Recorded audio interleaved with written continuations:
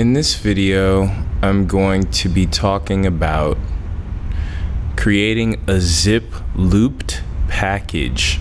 Uh, this is one way that you can actually save a, a project that you were working on so that you could open it up on other computers that have the full version, the purchase version. So being able to actually save in the zip loop package, you might be able to do that with the demo or the with the demo or the trial version but as far as actually opening it you will need the full program. So let's say there's a possibility that you were working on a track at home and you don't have the demo or the trial version uh, you might be able to save your project in the zip looped package uh, for file format and you could email it to yourself and come to class and open it up and pick up from where you left off because all the computers in class have the full version on them.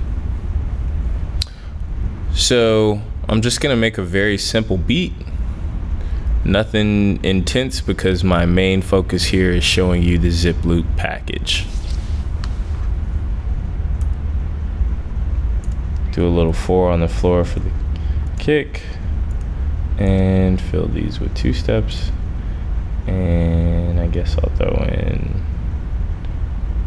a little uh, snare. Let's see how this sounds.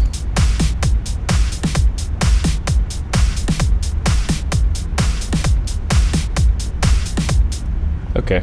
So I'll go ahead and link these all to their own mixer tracks.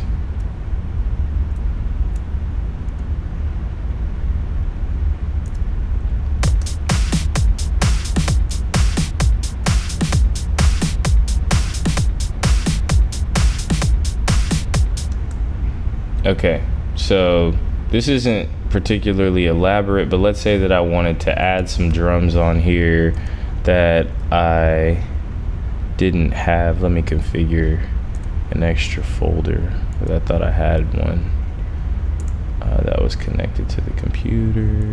Let's go here. Where's my folder? Okay, sweet. So let's say I took some sounds that weren't stock. I don't even know. Okay, a little cowbell.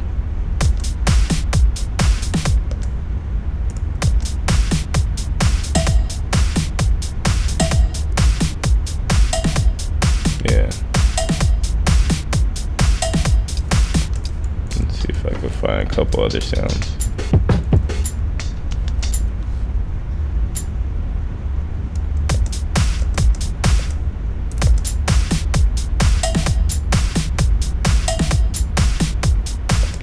I'll put these on their own tracks as well. And we're getting a little bit longer than I wanted it to be, but this is this is where we are.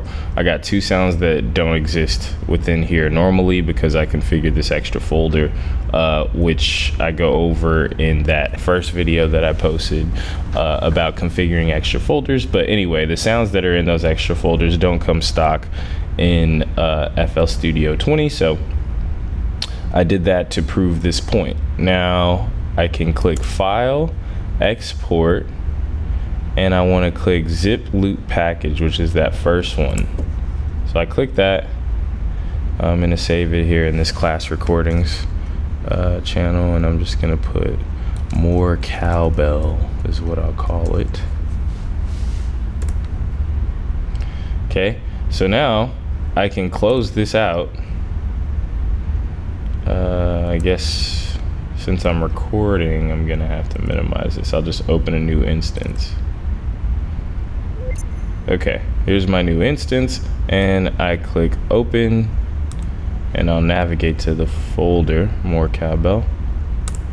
And I will open it and bam, those all my sounds there and everything.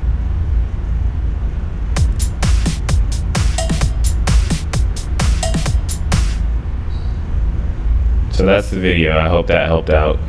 Um, I guess actually really quickly to show you, if I were to use a zip archiver, the reason that that file works is because it saves an FLP. I think because I opened this, that now I'm talking over here too. Let me turn this one off. Okay, that got rid of the echo. Um, if you were to open up this this file, because this is how we saved the project, more cowbell. If you opened it up with a zip archiver, as you can see, it, it actually saves the FLP in connection with this, but everything is uh, written into this file here, so that's why it works that way. Okay, stay tuned for the next video.